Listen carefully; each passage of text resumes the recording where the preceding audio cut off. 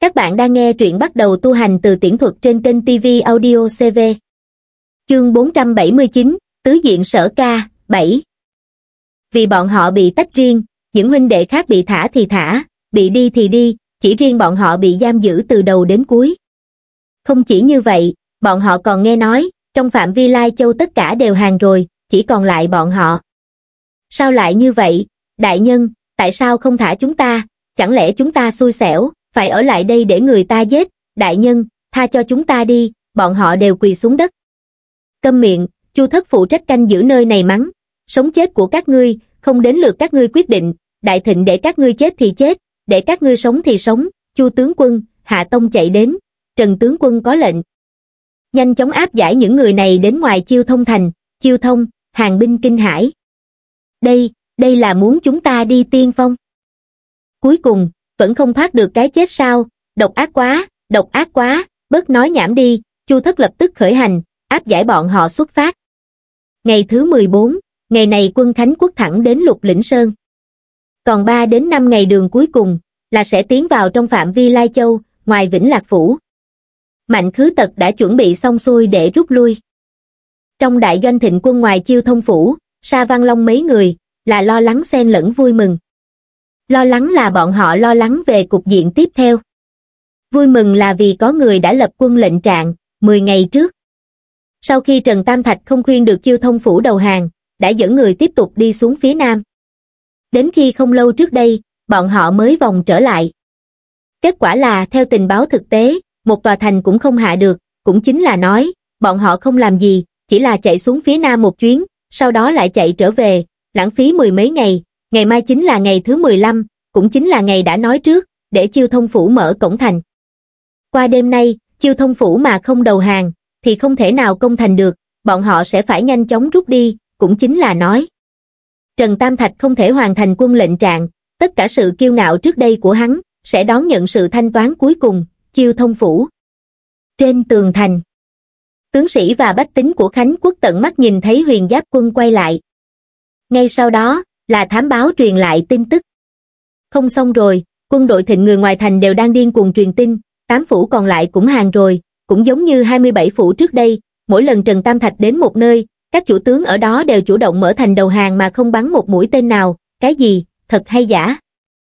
Đặng tướng quân không phải nói, tám phủ còn lại sẽ không hàng sao, suyệt nhỏ tiếng thôi, ngươi quên rồi sao, trước khi 27 phủ hàng, đặng tướng quân cũng nói là sẽ không hàng, kết quả thì sao, ý của ngươi là, tướng quân vẫn luôn lừa chúng ta, chính là muốn chúng ta cố gắng chống đỡ, không thì sao, vậy, vậy phải làm sao đây, thật ra hoàn toàn không cần thiết, mở cửa thành đầu hàng là được, hà tất phải khổ sở chống đỡ, những người ở các phủ khác đầu hàng, giờ này đều đã về nhà rồi. Ngươi nói cái gì? Láo xược, yêu ngôn hoặc chúng, làm loạn lòng quân, chết đi đặng phong bước lên tường thành, vừa khéo nghe thấy một thuộc hạ nói chuyện riêng, hắn nổi giận lôi đình, vung đao chém đầu người đó ngay trước mặt mọi người, máu tươi từ cổ đức phun ra, mang theo cảm giác nóng ấm vẫy lên người xung quanh. Hắn nhặt cái đầu lên, các ngươi nghe cho rõ, tin tức bên ngoài chắc chắn là giả. Bản tướng quân không hàng, tám phủ căn bản không thể hàng. Ai còn dám yêu ngôn hoặc chúng, làm loạn lòng quân, thì chính là kết cục này, cái, cái này mọi người sợ hãi lùi lại, không ai dám bàn luận nữa. Nhưng Đặng Phong biết, cần dựa vào giết người mới có thể ổn định lòng người, thì đã đến cực hạn rồi, may mắn là, kiên trì thêm một chút, dây cung này, chỉ cần kéo căng thêm một đêm cuối cùng, sáng sớm ngày mai. Chính là thời gian mà Đại Thịnh tuyên bố công thành. Chỉ cần bọn chúng vừa công thành, hai bên đỏ mắt lên, thì có thể tiếp tục thủ vững, năm ngày sau, đại quân sẽ đến, ngoài thành. Đại trướng trung quân của hổ bí quân Thịnh Triều. Còn mấy canh giờ nữa trời sẽ sáng. Nếu người chiêu thông phủ vẫn không mở cửa thành đầu hàng, thì có nghĩa là quân lệnh trạng của họ Trần kia không thể hoàn thành. Đến lúc đó lão tử sẽ tự mình bắt hắn áp giải đến trước mặt mạnh đại soái, ta xem phòng thanh vân làm sao cứu được hắn, Trần Tam Thạch đâu rồi? Chẳng lẽ trốn rồi? Sa Văn Long nheo mắt, trong tay không ngừng vuốt ve lưỡi đao của đao rộng, trong đầu đầy hình ảnh mình quỳ xuống nhận sai với họ Trần kia. Hồi bẩm sa tướng quân, Trần Tam Thạch đang ở trong đại trướng của cửa đông, hắn đang làm gì, không biết, hình như không làm gì nhưng thuộc hạ thấy, huyền giáp quân dường như điều rất nhiều hàng binh đến. Hàng binh, thôi Tòng Nghĩa nhướng mày nói, hắn điều hàng binh đến làm gì, không biết. người của huyền giáp quân không tiết lộ, báo lại có một tướng sĩ xông vào đại trướng, quỳ xuống báo cáo, Trần tướng quân có lệnh. Ra lệnh cho chúng ta vào giờ mão hủy bỏ chiến lược vây ba trừ một, hoàn toàn khóa chặt chiêu thông phủ, sau đó gõ tất cả trống trận, bày quân trận ở bốn phía thành trì, chuẩn bị tất cả dụng cụ công thành. Được lắm, Sa Văn Long không nhịn được cười lạnh lớn tiếng, ta biết rồi. Hắn muốn hàng binh đến, là muốn ép hàng binh đi làm mũi tên tiên phong, sau đó chúng ta theo sau công thành. Xem ra, hắn cũng cuối cùng đã tỉnh ngộ, biết được người trong thành không thể đầu hàng, nhất định phải công thành mới được, đáng tiếc, đã muộn rồi, giờ này cơm nguội rồi, chỉ cần vừa thấy máu, sẽ khiến người trong thành liều mạng, năm ngày căn bản không đủ để công hạ. Viện quân Khánh Quốc sẽ đến ngay, hắn đang làm lỡ thời cơ, thôi tướng quân, mau mau gửi thư đi, chúng ta cách Vĩnh Lạc Phủ rất gần, trước khi trời sáng Hải Đông Thanh sẽ bay trở lại, để mạnh đại soái ngăn tên tiểu tử này lại. Lúc này công thành, căn bản là đang tìm chết, rút giả tiết việc của hắn lại, chúng ta bắt hắn quay về hỏi tội, được, huyền giáp quân. Dưới sự lo lắng, Trần Tam Thạch đứng trước cửa đại trướng luyện thương. Cho đến khi Hạ Tông vội vàng chạy đến báo cáo, hắn mới dừng lại, không nhanh không chậm tiếp nhận miếng vải thô Triệu Khang đưa tới để lau mồ hôi. Đã sắp xếp xong hết chưa? Đại nhân, Hạ Tông chấp tay nói, hai ngàn hàng binh tất cả đã vào vị trí, phân tán ở bốn cổng thành là Đông Nam Tây Bắc. Các bộ phận khác cũng đã chuẩn bị xong, sáng mai sẽ chuẩn bị công thành. Vậy nên đại nhân, bước thứ năm này, vẫn là công thành sao, lộ thư hoa, tiêu trưng cùng những người khác, đều nhìn với ánh mắt khó hiểu. Trong mắt bọn họ, giờ công thành, là không thể kịp. Nhưng nếu đại nhân muốn làm như vậy, thì có nghĩa là chắc chắn có thể công hạ trong thời gian cực ngắn. Chỉ là cụ thể dùng phương pháp gì, bọn họ không đoán được. Tuy nhiên câu trả lời mà bọn họ nhận được, lại hoàn toàn khác với suy đoán. Không công thành. Không công thành. Vậy, vậy vẫn là muốn khuyên hàng sao? Nhưng đại nhân, chúng ta vừa tìm hàng binh làm mũi tên tiên phong, vừa ra lệnh cho các bộ phận khác chuẩn bị dụng cụ công thành, không phải công thành, thì dùng để dọa người sao, các ngươi vẫn luôn hỏi ta, bước thứ năm chiêu hàng Lai Châu là gì?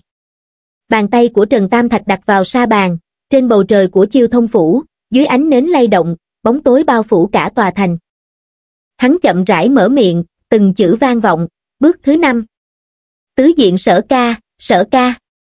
Là chỉ sơn ca của Khánh Quốc sao, hạ tông mấy người gần như hoàn toàn rối loạn. Đại nhân, đây lại là sắp xếp gì, truyền lệnh của ta. Sau nửa đêm giờ tí, để hai ngàn hàng binh, hát sơn ca, sở ca vang lên, lúc mặt trời mọc ở phương đông, chính là thời khắc Lai Châu thành vỡ, bốp, bàn tay như núi của Trần Tam Thạch nặng nề rơi xuống, chiêu thông phủ trong sa bàn, bị đập thành bột. Bước thứ năm, tứ diện sở ca tiễn công tâm, tiễn khai cổng thành định Lai Châu, mặt trời lặn, màn đêm buông xuống. Trong thành phủ chiêu thông, một mảnh chết lặng. Hàng ngàn binh lính, hơn 10 vạn dân chúng, tất cả đều chen chúc ở gần các cổng thành, trên tường thành, trên đường phố, trước cửa nhà, trông giống như những người dân tị nạn trong năm đói tụ tập lại với nhau, không ai dám quay trở lại nhà để nghỉ ngơi, bởi vì không ai biết liệu quân địch bên ngoài thành có tấn công trước hay không, thần kinh căng thẳng đến cực điểm. 6 canh giờ, chỉ còn 6 canh giờ nữa là đến thời hạn cuối cùng mà thịnh nhân đã đưa ra, báo, tướng quân. Không ổn rồi. Bị phong tỏa rồi quân địch bên ngoài không còn vây ba khuyết một nữa, trinh sát của chúng ta hoàn toàn không ra ngoài được, quân địch còn chuẩn bị sẵn đủ loại máy móc công thành cỡ lớn, có vẻ như trời sáng xong, bọn chúng thật sự chuẩn bị tấn công thành, hoảng cái gì? Âm thanh hùng hồn của đạn phong vang vọng trong bóng tối, để chúng tấn công. Chúng có tấn công được không? Một vài thuộc hạ hỏi. Đại tướng quân, nhưng, chẳng phải ngài nói rằng, trời sáng, viện quân của chúng ta sẽ đến sau 15 ngày, tức là sáng mai sau Đúng vậy, không sai. Đặng Phong đành phải đưa ra câu trả lời chắc chắn, viện quân sẽ đến sau khi trời sáng. Đến lúc đó, 7 vạn đại quân của bệ hạ, cộng thêm 5 vạn tinh nhuệ của Phủ Vĩnh Lạc, tổng cộng 12 vạn đại quân, thịnh nhân chắc chắn sẽ thất bại như núi đổ. Đêm nay, là bóng tối cuối cùng trước bình minh, một chữ, kéo dài, hắn cũng coi như đã trấn giữ biên cương nửa đời người. Chưa bao giờ như bây giờ, chịu áp lực lớn như vậy. Hơn nữa, tất cả áp lực này, đều đến từ một người trẻ tuổi, Trần Tam Thạch, người này, chỉ trong vòng một tháng ngắn ngủi, lại có thể thu nửa Lai Châu vào trong tay, thiên quân vạn mã tránh bạch bào, thủ đoạn cỡ nào, điều quan trọng nhất là theo như tin tức mà hắn nhận được, phần lớn các thành trì đều tự nguyện, cho dù quân phòng thủ không muốn, dân chúng trong thành cũng 100 người đồng ý, không ít người thậm chí còn tạo phản, bởi vì huyền giáp quân đi đến đâu, giết tham quan, mở kho lương. Không phạm đến dân chúng, nói khó nghe một chút, so với, so với chính người đại khánh quốc bọn họ đối xử với nhau còn tốt hơn. Đặng Phong đã sớm nghe nói về tích, mang dân vượt sông, của người này, trong lòng luôn nửa tin nửa ngờ, nếu là thật thì đương nhiên là đáng khâm phục, nhưng dù sao chuyện này cũng là do đích thân hoàng đế đại thịnh tuyên cáo thiên hạ truyền ra, có vẻ như là để tạo thanh thế rất lớn. Nhưng xem ra bây giờ, có vẻ như là thật, một người mà khi đến, dân chúng thà mạo hiểm chết dưới đao của quân phòng thủ cũng muốn quy thuận, chắc chắn là thật lòng đối đãi với dân chúng, cho dù là giả vờ, hắn cũng phải giả vờ mãi như vậy. Xét từ góc độ này, thiên hạ có một vị tướng quân như vậy, hoặc là đại khánh có một vị tướng quân như vậy, thì thật tốt biết bao. Đó sẽ là đại phúc của Khánh quốc, đại phúc của dân chúng, đáng tiếc, hắn là kẻ địch, một kẻ địch mạnh mẽ và có tiền đồ vô hạn, may mắn thay. Bọn họ vẫn có thể thắng, chỉ cần kéo dài đến khi trời sáng, đánh nhau, thấy máu rồi, thì chính là thế công thủ cũng thay đổi, nếu có thể bắt sống Trần Tam Thạch, để hắn phục vụ cho Đại Khánh, thì không gì tốt hơn, Đặng Phong tiếp tục trấn áp quân tâm, tám phủ cũng không thể đầu hàng, chẳng qua chỉ là hư trương thanh thế mà thôi, bọn họ vẫn đang cùng chúng ta kiên thủ. Mục đích là để loạn trận cước của ta, thịnh nhân nói gì, mọi người đừng tin, dưới sự khuyên nhủ chân thành. Sự hỗn loạn trong thành một lần nữa khó khăn lắng xuống. Viện quân thuộc hạ và dân chúng không biết, nhưng Phó tướng Tống Hồng Bưu lại biết rõ, viện quân căn bản là ngày mai không đến được, còn năm ngày sau có thật sự đến được hay không, ai mà biết được. Không chừng, đường vương Lý Cung, cũng giống như Đặng Phong, cố ý nói ngày viện quân đến sớm hơn, để lừa bọn họ thủ thành. Phủ Vĩnh Lạc Tốt, Lý Cung nhận được tình báo chiêu thông phủ vẫn chưa thất thủ, tảng đá trong lòng coi như hoàn toàn buông xuống. Năm ngày cuối cùng, thịnh nhân đã không thể đánh hạ chiêu thông phủ nữa. Thu phục toàn bộ Lai Châu, sau đó dò mó Trung Nguyên Thịnh Triều, chỉ trong tầm tay, tướng quân đặng thật không hổ là xương sống của Đại Khánh ta, phó tướng tán thưởng, vương gia, cục diện đã ổn định, đúng vậy. Lý Cung giơ tay hạ lệnh, thông báo cho toàn bộ tướng sĩ trong thành, đặc biệt là kỵ binh, ngày đêm sẵn sàng xuất phát, theo như ta hiểu về mạnh khứ tật, trong ba ngày hắn chắc chắn sẽ rút quân. Khi quân đội bên ngoài rút lui, chính là ngày chúng ta xuất thành phản công, rõ, bên ngoài thành, doanh trại đại thịnh. Mười vạn đại quân Nam từ trực tiếp áp sát hổ lao quan, Đặng Phong trong chiêu thông phủ vẫn chưa đầu hàng, lần này, thật sự là không còn thời gian nữa, mạnh khứ tật thở dài đưa tình báo cho người khác xem, phòng tướng quân, thật sự phải rút lui rồi, nếu không rút lui thì thật sự không kịp nữa, cả đời hắn chưa từng bại trận. Tiếp tục kéo dài, nguy cơ thất bại sẽ vượt quá sáu thành, hắn nhất quyết sẽ không mạo hiểm. Đợi thêm chút nữa. Phòng Thanh Vân vẫn nói như cũ, Trần Tham Tướng đã nói rất rõ ràng, trong vòng 15 ngày khiến chiêu thông phủ xuất thành đầu hàng, thiếu một buổi tối, cho dù một canh giờ cũng không phải là 15 ngày, vậy nên, tại sao không đợi đến khi trời sáng rồi hãy nói, nghiêm đại minh theo sau khuyên nhủ, đại soái sự việc đã đến nước này, chi bằng đợi thêm chút nữa, Vĩnh Lạc phủ cách chiêu thông phủ rất gần, thời gian liên lạc khoảng 6 canh giờ, vậy thì đợi đến chiều mai, đây là thời hạn. Cuối cùng, Mạnh Khứ Tật đã cảm thấy mình đang mạo hiểm lớn nhất trong đời, ngoài ra đồng ý với đề nghị của Sa Văn Long và Thôi Tòng Nghĩa, nếu sau khi trời sáng, người trong chiêu thông phủ vẫn chưa xuất thành đầu hàng, thì lúc đó thu hồi quyền giả tiếp việc của Trần Tam Thạch, tuyệt đối không để hắn công thành, đã không còn thời gian nữa. Sau đó, ra lệnh cho Sa Văn Long và những người khác đưa hắn trở về chờ xử lý, đại quân của ta lập tức rút lui, quay trở lại trong biên giới đại thịnh, đóng quân ở biên giới, lấy tỉnh chế động, trong mắt hắn, quân lệnh trạng Trần Tam Thạch không thể hoàn thành được rồi. Nhưng chuyện này, cũng không thể trách Trần Tam Thạch, 27 phủ cúi đầu hàng phục, đã là kinh thế hải tục, không lấy được chiêu thông phủ cũng coi như bình thường, nhưng trong quân không có đùa giỡn, phải bắt về trước, sau đó lại xem cụ thể xử lý như thế nào. Bên ngoài chiêu thông phủ, doanh trại đại thịnh. Đại soái đã đồng ý, Sa Văn Long đứng dậy hạ lệnh, tham tướng bốn bộ trước sau trái phải nghe lệnh, các ngươi đi theo dõi Trần Tam Thạch, sau khi trời sáng, lập tức bắt hắn, sau đó chúng ta nhanh chóng rút lui, rõ, vài tham tướng nhận lệnh rời đi. Không được.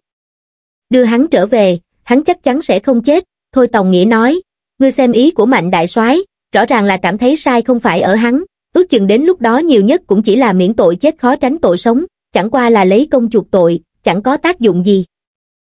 Vậy cũng phải bắt hắn trở về trước rồi hãy nói, Sa Văn Long hừ lạnh nói, tốt nhất là hắn kháng lệnh, tiếp tục cưỡng chế công thành, như vậy ngươi và ta, vừa hay có lý do để lấy mạng hắn, đại trướng huyền giáp quân. Công pháp, trấn quốc long thương. Thông mạch, tinh thông, Tiến độ, 155 phần 1000, khoảng thời gian càng ngày càng gần, Trần Tam Thạch vẫn không vội vàng luyện thương. Đại nhân, Hạ Tông đi đến bên cạnh, ghé tai nói nhỏ, vài tham tướng của Sa Văn Long chạy đến gần doanh trại của chúng ta, không biết đang làm gì. Không cần để ý, Trần Tam Thạch thản nhiên nói, tiến hành theo kế hoạch ban đầu, để thôi Tòng Nghĩa, Sa Văn Long bọn họ làm gì thì cứ làm cái đó, trước khi trời sáng lơ là chích trách, ta vẫn có thể chém đầu bọn họ. Rõ, Hạ Tông rời đi. Đại nhân Triệu Kha Nhân lúc bốn bề không có người, nói nhỏ, tên Sa Văn Long này thật sự đáng chết, từ lần đó ở Ngư Dương Tông đã không đến hỗ trợ chúng ta, ở Minh Châu cũng luôn nhằm vào, nếu không phải thuộc hạ vô năng, bây giờ đã đi chặt đầu hắn xuống, ngươi cũng đi làm việc của ngươi đi.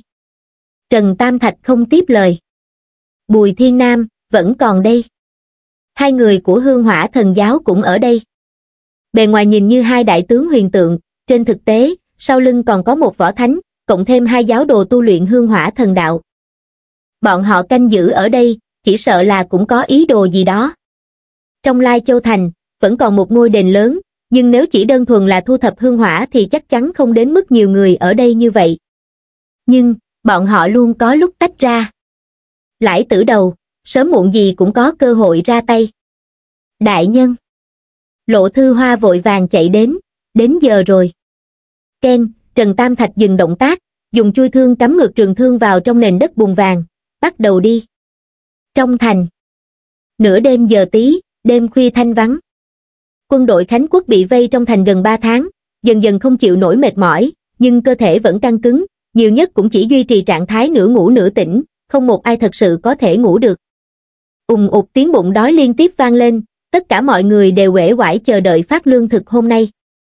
Tướng quân, lương thảo hết rồi, Tống Hồng Bưu nói, cho dù giảm cung cấp, cũng chỉ đủ hai ngày cuối cùng, có nên dừng lương thực của dân chúng trước, lo cho các huynh đệ trước không chiêu thông phủ là kho lương lớn thứ hai của Lai Châu, lương thảo vẫn coi như đầy đủ, chỉ là dân chúng trong thành quá nhiều, hơn 10 vạn dân chúng, tiêu hao trong một ngày không biết lớn cỡ nào. Nhưng lại cần mọi người cùng thủ thành, cho dù sau này mỗi ngày giảm bớt khẩu phần, kho lương cũng vẫn dần dần cạn kiệt. Đừng reo rao, Đặng Phong ngồi xếp bằng dưới đất, nhanh chóng đưa ra quyết định, đừng giảm cung cấp, lấy hết tất cả lương thực ra, để mọi người ăn no, vượt qua đêm nay, thì đều không thành vấn đề, sau đó đánh nhau, cho dù là đói cũng có thể chịu được mấy ngày, viện quân đến là tốt rồi. Rõ, ta biết rồi, Tống Hồng Bưu nhận lệnh rời đi. Rất nhanh, từng thùng từng thùng cơm kê hấp, bắt đầu được phát theo thứ tự. Ăn cơm rồi, ơ hôm nay không phải cháo loãng. Tướng quân còn giết ngựa.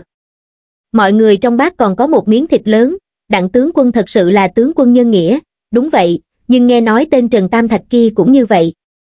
Thật sao, thật sự, nghe nói nếu lương thực trong thành không đủ, hắn còn điều lương thực trong quân đội đại thịnh cho dân chúng, có rất nhiều nơi đói kém, những người sắp chết đói đều sống lại.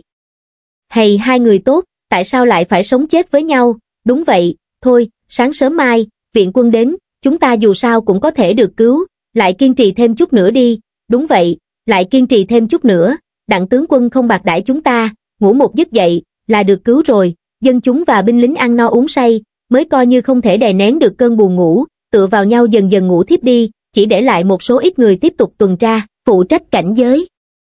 Trong giấc mơ, hình như bọn họ đợi được viện quân, đánh thắng trận này, binh lính lần lượt trở về quê nhà, dân chúng địa phương cũng sống cuộc sống giống hệt như trước đây, mấy ngày nữa chính là lễ khánh ca của Đại Khánh, mỗi nhà mỗi hộ đều đoàn viên bên nhau, hát bài hát của bọn họ. Hái rau vi, hái rau vi, rau vi đã mọc thành bụi. Nói là về, nói là về, tuổi cũng đã già. Không có nhà, không có cửa, đều là do giặc khuyển nhung. Không có thời gian nghỉ ngơi, đều là do giặc khuyển nhung. Khoảnh khắc này, dường như bọn họ trở về quê nhà, hoặc là trở về cuộc sống thường nhật, mặt trời mọc thì làm, mặt trời lặn thì nghỉ, ngày tháng trôi qua nghèo khổ, nhưng dù sao cũng có người thân bên cạnh. Không đúng hình như thật sự có người đang hát, ai đang hát, hình như là bên ngoài thành, nhiều người hát quá, nghe như là hàng ngàn hàng vạn người, trong tiếng, sột soạt, hơn 10 vạn người lần lượt tỉnh giấc. Công việc triều đình không ngừng, không có thời gian nghỉ ngơi. Lo lắng trong lòng đau đớn, ta đi không trở về, giọng hát không lớn. Nhưng vang vọng bốn phương tám hướng, bao trùm toàn bộ thành chiêu thông phủ, thê lương, mờ mịt, vang vọng trong tâm trí của mỗi dân chúng, mỗi binh lính, âm vang chuyển đi, sâu vào lòng người. Bài hát này tên là Thái Vi, vừa hay là một khúc nhạc lưu truyền rất rộng rãi trong Khánh Quốc, hơn nữa nội dung vừa hay là thể hiện nỗi nhớ quê hương của những binh lính xuất chinh, và tình cảnh lúc này, đơn giản là hoàn hảo, phù hợp hoàn mỹ.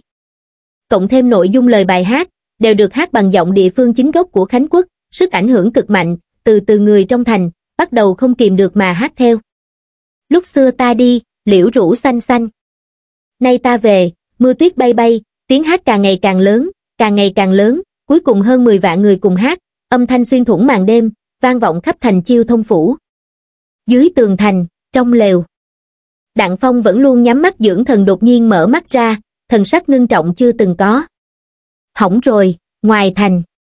Doanh trại đại thịnh. Động tĩnh gì vậy? Sa Văn Long vẫn luôn chờ đợi đến khi trời sáng rồi bắt người hỏi tội, ngồi trong đại trướng ngủ gật, đột nhiên bị tiếng hát rung trời đánh thức, lúc đầu hắn còn tưởng là có địch tập kích, nghe kỹ rồi mới phát hiện là có người đang hát. Không chỉ có hắn, Thôi Tòng Nghĩa, Tào Phàm ở bên cạnh cũng nghe tiếng mà đến. Tướng quân, là hàng binh. Hàng binh của Khánh Quốc, không phải trước đó Trần Tướng quân đã điều hơn 2.000 hàng binh đến sao, lúc này chính là bọn họ đang hát. Hàng binh. Không cần bọn họ làm bia đỡ đạn, gọi đến hát. Thôi Tòng Nghĩa theo âm thanh đi đến nơi hàng binh của Khánh Quốc tập trung gần đó. Chỉ thấy những hàng binh Khánh Quốc này, một người hát còn bán mạng hơn một người, hơn nữa vô cùng nhập tâm, thậm chí có một số người vừa hát vừa khóc. Thôi Tòng Nghĩa giống như bắt gà con vậy, một phát túm lấy một hàng binh gầy yếu, chất vấn, các ngươi đang hát cái gì vậy? Trần Tướng Quân nói, chỉ cần chúng ta bán mạng hát, hát đến khi trời sáng, sẽ thả chúng ta về nhà, hàng binh mang theo giọng khóc nói, chúng ta muốn về nhà, những người này, hát từ tận đáy lòng. Dù sao hai vạn hàng binh, chỉ còn lại hai nghìn người vẫn chưa đi, từ lâu đã muốn về nhà không thể ngăn cản. Trò trẻ con, Sa Văn Long căn bản không thể hiểu được ý đồ sắp xếp như vậy, hắn cười nhạo, thôi tướng quân, họ trần này là chó gấp nhảy tường, đến cả thủ đoạn giống như đùa giỡn cũng dùng ra rồi, ta thấy hắn thật sự không còn cách nào nữa rồi, đúng vậy. Thôi Tòng Nghĩa nhếch khóe miệng, hắn hết cách rồi, hắn còn có thể dựa vào hát để hát mở cửa thành sao, hát đi, để bọn họ hát, Sa Văn Long hừ lạnh, hát đến khi trời sáng, cũng coi như là tiễn họ trần kia, Tào Phàm im lặng, hắn chỉ cảm thấy bất an. Chiêu thông phủ thành, trong thành. Đủ rồi, Đặng Phong như lửa cháy đến lông mày xông ra khỏi lều, khí huyết bùng nổ, âm thanh giống như chung lớn trên trời mạnh mẽ áp đảo tiếng hát. Các ngươi đang hát cái gì vậy? Đừng hát nữa, cho dù là như vậy. Cũng vẫn mất một chén trà, mọi người hát có hơi mệt rồi, mới dần dần dừng lại. Viện quân, có phải viện quân đến rồi không? Đúng vậy, đều là giọng địa phương chính gốc của Khánh Quốc, chắc chắn là người của chúng ta, bốn phương tám hướng đều là người của chúng ta, có rồi, có rồi, đi, đi xem xem, các ngươi làm gì vậy? Đứng lại, cản cũng không cản được. Hàng vạn dân chúng, lần lượt của lên tường thành bốn phương tám hướng, chen chúc vỡ đầu nhìn ra bên ngoài, nhưng rất nhanh, bọn họ lại thất vọng, bởi vì đâu có viện quân gì, bốn phương tám hướng đều là doanh trại đại thịnh vững chắc vô cùng, những binh lính mặc áo giáp tinh xảo dơ đuốc, trật tự tuần tra, tất cả đều không có bất kỳ thay đổi nào. Còn về tiếng hát là từ trong doanh trại đại thịnh truyền ra. Bởi vì khoảng cách quá xa, cộng thêm là ban đêm, bọn họ cũng không nhìn rõ có bao nhiêu người, chỉ biết là gần như doanh trại nào cũng có, cũng tức là, người của bọn họ, đang giúp thịnh nhân bao vây bọn họ, đây đâu ra nhiều huynh đệ như vậy, chắc chắn không sai. Giọng điệu, cách hát của bọn họ, 100% chính là đồng bào của chúng ta, cho dù có một hai người có thể bắt chước giọng hát, cũng tuyệt đối không thể có nhiều người như vậy, 5.000 người, không đúng, ít nhất là một vạn, hai vạn người, năm vạn người, đâu ra nhiều người như vậy, không phải hàng binh đều đã được thả đi rồi sao, hôm qua huyền giáp quân mới quay về, người là bọn họ mang về từ tám phủ, hàng binh mới, cũng tức là, tám phủ, thật sự đã hàng. Nói bậy tám phủ không thể đầu. Hàng, đặng phong xông lên tường thành, giả. Đều là giả, vừa hay lúc này. Trong bóng tối, dưới sự hộ tống của hai ngọn đuốc, một vị tướng quân cưỡi ngựa trắng mặc áo bào trắng đi đến cách cổng thành 300 bước. Người này là ai? Ngựa trắng bào trắng, Trần Tam Thạch, còn có thể là ai? Mau đến xem. Người đó chính là Trần Tam Thạch, lộ mặt rồi, Trần Tam Thạch chấp tay, hướng về Đặng Phong trên tường thành chấp tay hành lễ. Hoài viễn tướng quân Trần Tam Thạch, ở đây gặp Đặng tướng quân, Trần Tam Thạch, Đặng Phong tức giận không kìm được, chỉ vào hắn quát lớn, ngươi đang dở trò gì vậy? Ngươi tưởng rằng chỉ một bài hát quê hương, là có thể làm lay động quân tâm của ta sao? Đặng tướng quân hiểu lầm Trần Mỗ rồi, Trần Tam Thạch khách khí nói, vãn bối, là đến để cứu đặng tướng quân, và mười mấy vạn dân chúng trong thành này. Nực cười, đặng phong lạnh lùng nói, bổn tướng quân vẫn còn 8.000 tinh binh, lương thảo trong thành dồi dào, viện quân sắp đến, cần ngươi đến cứu sao? Lương thảo thật sự dồi dào sao? Trần Tam Thạch ngồi trên lưng ngựa, ngũ quan không có dao động quá rõ ràng, nhưng giọng nói mạnh mẽ vang dội. Trần Mỗ đi dọc đường, nhìn thấy phần lớn nơi trong Lai Châu đều đang đói kém, từ khi khai chiến vào tháng 11 năm ngoái, lại chinh phạt liên tục, tất cả lương thảo của các thành trì đều được điều động từ trong tay dân chúng, dân chúng khổ không thể tả, chiêu thông phủ là kho lương lớn thứ hai của Lai Châu, lương thảo quả thật nên dồi dào, ít nhất là cung cấp cho 8.000 quân phòng thủ ăn một năm rưỡi cũng không thành vấn đề. Nhưng đặng tướng quân lại là một người yêu dân như con, vậy nên tướng quân chắc chắn sẽ chia lương thảo trong thành cho dân chúng, hơn 10 vạn dân chúng, cho dù là lương thảo của chiêu thông phủ cũng không đủ phải không? Nói bậy nói bạ, ngươi đừng có tân bốc ta, đặng phong phản bác nói, lương thảo trong thành dồi dào. Các huynh đệ trong thành, vừa mới ăn no, họ trần kia, ngươi đừng có ở đây nói lời mê hoặc lòng người, chuyện lương thảo, chỉ cần kiểm tra kho lương là biết, cho dù là vẫn còn, ước chừng cũng không còn nhiều. Cho dù đặng tướng quân nhất quyết tự lừa mình dối người, chúng ta có thể tạm gác chuyện lương thảo sang một bên, nói về binh lực, Trần Tam Thạch tiếp tục nói, hiện tại không chỉ tám phủ đều quy thuận, chỉ hai canh giờ trước, Vĩnh Lạc Phủ cũng đã bị phá, đầu của đường Vương Lý Cung bây giờ đang treo trên tường thành Vĩnh Lạc Phủ, cũng tức là, các ngươi chiêu thông phủ, triệt để trở thành một tòa cô thành. Những người đang hát trong doanh trại là hàng binh Khánh Quốc từ Tám Phủ và Vĩnh Lạc Phủ. Hàng Phục trở về, bọn họ không muốn cùng huynh đệ của mình tự tương tàn, nên mới dùng tiếng hát để khuyên nhủ. Các ngươi chẳng lẽ, nhất định phải cùng bọn họ tự tương tàn sao? Giữa các ngươi không những có người quen biết, nói không chừng còn là đồng hương, lời này vừa dứt. Mọi người lập tức rơi vào một mảnh hoảng sợ. Hết lương thực rồi, kho lương trong thành trống rỗng. Chẳng trách tối nay mọi người ăn uống đột nhiên trở nên tốt hơn. Đây là định cho chúng ta ăn bữa cuối cùng, Vĩnh Lạc Phủ cũng bị công phá, ngay cả đường vương cũng chết rồi, vậy chẳng phải, Lai Châu chỉ còn lại chúng ta. 15 vạn đại quân, sắp quay đầu lại đánh chúng ta, Trần Tam Thạch lại bổ sung, đặng tướng quân. Những điều ta nói này, ngươi nên biết rõ, nhưng tại sao tướng quân còn muốn giấu giếm các huynh đệ và dân chúng trong thành? Chẳng lẽ phải đợi đến khi đại thịnh của ta điều động thêm nhiều đại quân hơn đến, đánh ra một cục diện thành phá người chết, sát ngang đầy đồng, mới chịu cúi đầu sao, biết rõ. Ta biết rõ cái gì? Đặng Phong khó mà quan tâm đến hình tượng, lớn tiếng hét lên, mọi người đừng nghe hắn nói bậy nói bạ, những thứ này ta đều không biết, không, ý ta là, trong miệng hắn không có một câu nào là thật, đặng tướng quân, Trần Tam Thạch nâng cao giọng nói, ta cũng biết đặng tướng quân trung nghĩa, nhưng ngươi không thể vì cái, trung, của mình, mà kéo toàn bộ người trong thành cùng ngươi bồi tán được, vừa mới nhận được quân lệnh, mạnh đại soái ra lệnh cho ta tấn công thành sau khi trời sáng, vậy nên. Thời gian còn lại để các ngươi suy nghĩ không còn nhiều nữa, lời hết ý rồi, cũng hy vọng các huynh đệ và hương thân trong thành, có thể khuyên nhủ đặng tướng quân, cáo từ, nói xong. Hắn ghim ngựa quay về, biến mất trong đại trại quân doanh. Trên tường thành, dân chúng và binh lính nổ tung. Tướng quân, tám phủ các loại chúng ta không nhìn thấy, nhưng còn kho lương thì sao? Mọi người hỏi, có phải thật sự trống không? Có thể để chúng ta đi xem kho lương một chút không? Trống không rồi, kho lương thật sự trống không rồi, có người thích gây chuyện, đã sớm lén lút rời đi khi nghe thấy lời này, bây giờ quay lại lớn tiếng tuyên bố. Trước đây kho lương chỉ là không cho phép ăn trộm, nhưng có thể đi qua, bây giờ có rất nhiều binh lính canh giữ kho lương, ngay cả xem cũng không cho xem. Đây, chẳng lẽ còn không thể chứng minh được cái gì sao, kho lương, là trống không, Đặng Phong đành phải thừa nhận nói, nhưng trống không thì sao? Ngoài kho lương ra, những thứ khác hắn nói, tất cả đều là giả. Người bên ngoài hát khúc khánh ca là từ đâu đến ta không biết, nhưng ta dám lấy tính mạng của mình ra thề, tám phủ tuyệt đối vẫn chưa đầu hàng, nếu không tin, có thể thử phái người đột phá vòng vây ra ngoài xem tình hình, tướng quân, thành trì gần nhất, đi một về cũng mất hai ngày, nhưng, nhưng chẳng phải ngài nói, sáng mai viện quân sẽ đến sao? Cho dù tám phủ thật sự đầu hàng, chúng ta có cần phải đi hỏi không? Chẳng lẽ, ngài đang lừa chúng ta, ầm mọi người nắm chặt sơ hở trong lời nói của Đặng Phong, điên cuồng truy hỏi. Đặng Phong nhất thời á khẩu, không biết nên trả lời như thế nào. Hắn trong lòng mắng chửi Trần Tam Thạch, hóa ra là một tên tiểu nhân đê tiện vô sĩ, đầu tiên là lợi dụng hàng binh hát khánh ca để làm lay động quân tâm, sau đó lại đổ hết mọi thứ lên người hắn, ly gián thuộc hạ, dân chúng và mối quan hệ của hắn, tạo thành cục diện hiện tại không thể giải thích được, ta chỉ là muốn chứng minh với các ngươi tám phủ chưa hàng, không phải nói viện quân không quay lại, Đặng Phong cắn răng nói, sáng sớm ngày mai, viện quân đúng giờ. Đến, nếu như vậy, chúng ta sẽ lại. Tin tướng quân một lần. Các huynh đệ, lại kiên trì đến sáng mai, mọi người lần lượt tản đi, nhưng sự hỗn loạn không bao giờ lắng xuống nữa.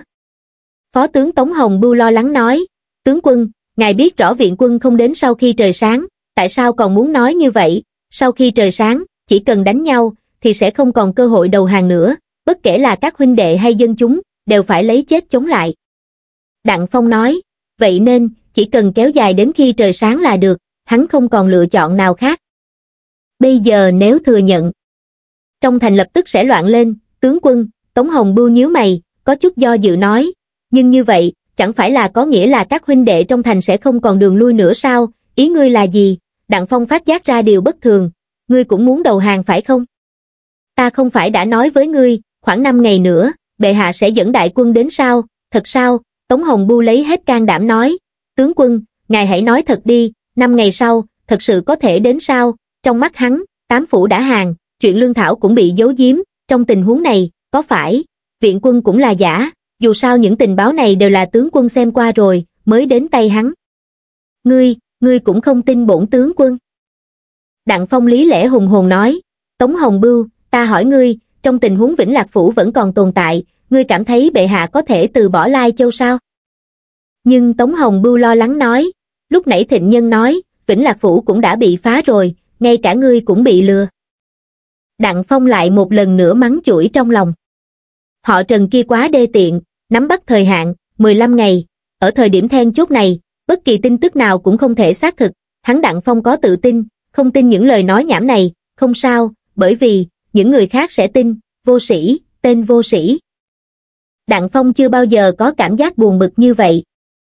Bốn phía Khánh ca vẫn tiếp tục. Đi đường chậm chạp, vừa khát vừa đói.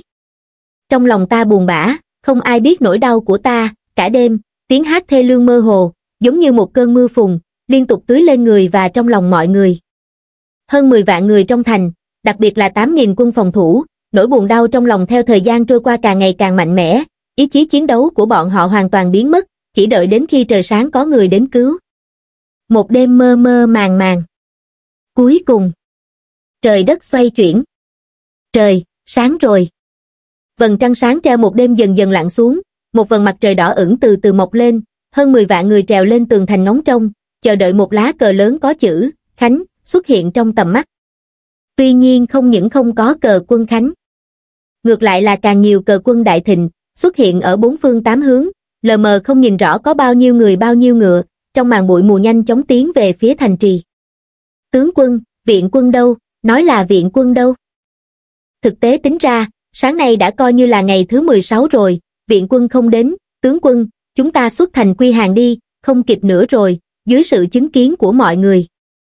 Đặng Phong đi lên đài cao, trong giọng nói mang theo ấy nấy nói, thật ra, viện quân còn 5 ngày nữa mới đến, còn 5 ngày nữa, mọi người nghe ta nói, Đặng Phong dơ cao đại đao, trước đây bổn tướng quân nói 15 ngày, chỉ là để khích lệ sĩ khí của mọi người, nhưng lần này là thật, nhiều nhất là 5 ngày nữa, hoàng đế bệ hạ sẽ đích thân đến lục lĩnh sơn, đến lúc đó, quân hổ bí và huyền giáp bên ngoài, chắc chắn sẽ cùng nhau rút lui, tướng quân, tiểu nhân cả gan nói một câu, lần trước. Ngài cũng đã nói những lời tương tự rồi. Còn có lương thực tướng quân ngài đã lừa dối chúng ta rất nhiều lần rồi tướng quân, sợ là năm ngày sau còn có năm ngày nữa, căn bản, là không có viện quân, không ổn, mọi người mau nhìn xem, thịnh nhân chuẩn bị công thành rồi, còn một chén trà nữa thôi, là đến giờ rồi, tiếng hát bên ngoài thành đột nhiên dừng lại, thay thế vào đó là tiếng trống trận rung trời, và tiếng tù và hùng tráng, cùng với những lá cờ trận chiến xếp thành hàng bay phấp phới trong gió, từng trận chiến trận khai triển ra. Còn có chiến xa, thang mây, xe bắn đá, xe đâm, từng chiếc máy móc cỡ lớn, được đẩy lên phía trước, làm sao bây giờ? Nếu không hàng, thì thật sự không kịp nữa rồi, tướng quân. Nếu đã không có viện quân, thì hàng đi không được hàng, không được hàng.